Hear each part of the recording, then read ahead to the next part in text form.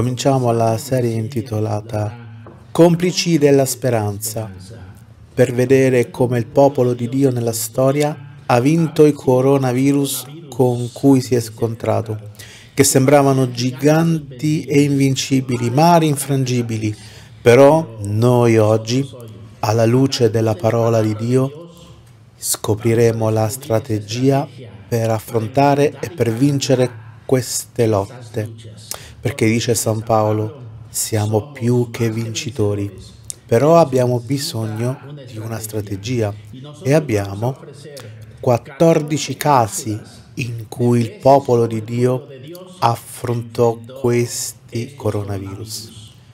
Iniziamo.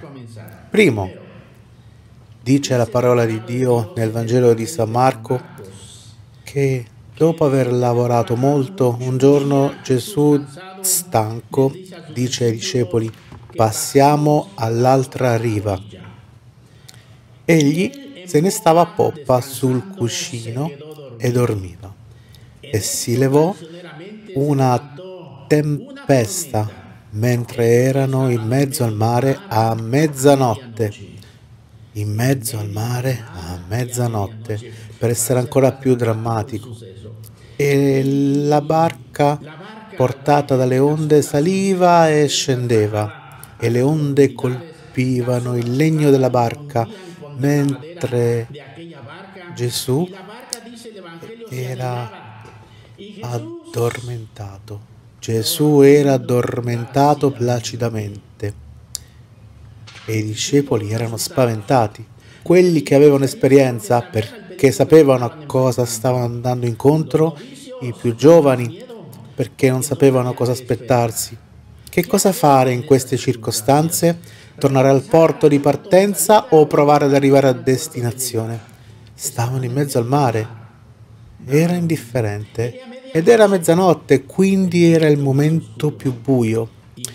E dice il Vangelo, il Vangelo di San Marco, al capitolo 4, versetto 35 e seguenti, che i discepoli presero la decisione di svegliare il Maestro, che non si era svegliato con tuoni della tempesta, che non si era svegliato con il rumore delle onde, che non si era svegliato con l'acqua che bagnava i suoi piedi. Dovevano svegliarlo, magari scuoterlo, e lo fanno chiedendogli Maestro, gli dicono, Maestro, non ti importa che moriamo? Per te è indifferente se moriamo qui in mezzo al mare? Il tuo cuore non si commuove per quanto stiamo soffrendo? Per te è lo stesso, la nostra vita o la nostra morte? Non ti commuovi, Signore? Dove sei? Perché dormi? Perché non agisci? e lo svegliarono. Quando Gesù si svegliò, fermò il mare, anzi il vento, perché era la causa di quelle onde.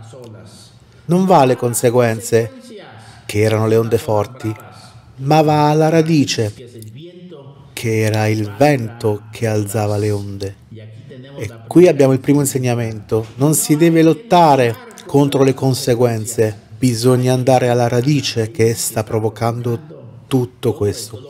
E lo vedremo in altri momenti, quali sono queste radici. Però, una volta sveglio, Gesù dice, taci, calmati.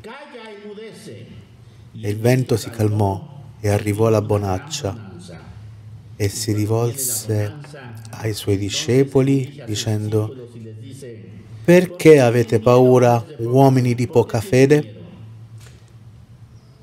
La sua presenza aumentò la loro fede e guarirono dalla paura, che era la paura di morire.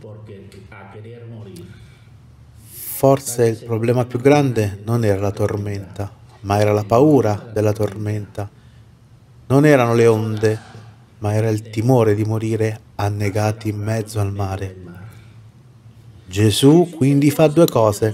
Primo, dice ai discepoli, perché avete paura, uomini di poca fede? Allora manca la fede. Questo è quello che succede loro. C'è una storia che racconta di un bambino in un aereo durante una turbolenza e la hostess si avvicina e dice bambino non hai paura? Guarda come sta muovendo l'aereo. Il bambino dice molto tranquillo no. Come no? Guarda le turbulenze. Il bambino dice no, mio papà è il pilota. Questa è la fede, sapere che mio papà è il pilota e che non si muove la foglia di un albero senza il suo consenso. Diciamo allora a Gesù, svegliati, tu sei il nostro pilota. Qui abbiamo la strategia per vincere questo coronavirus. Svegliare Gesù e dirgli, tu sei il pilota. Amen.